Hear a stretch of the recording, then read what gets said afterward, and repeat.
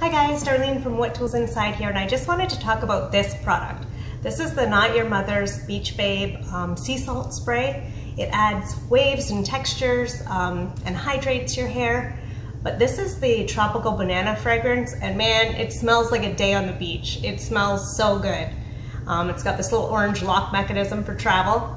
And the spray comes out so nice. I don't know if you can, the camera will capture that, but it's got such a broad spectrum. You just put it in a little bit. You can use it on wet hair, dry hair, wavy, curly, straight hair, anything that wants to get a little hydrating, um, texturizing to it, this is the stuff for you. And like I said, the smell is to die for. We've been using this product for such a long time. The whole family is actually using it now. My daughter, my husband even likes to use it.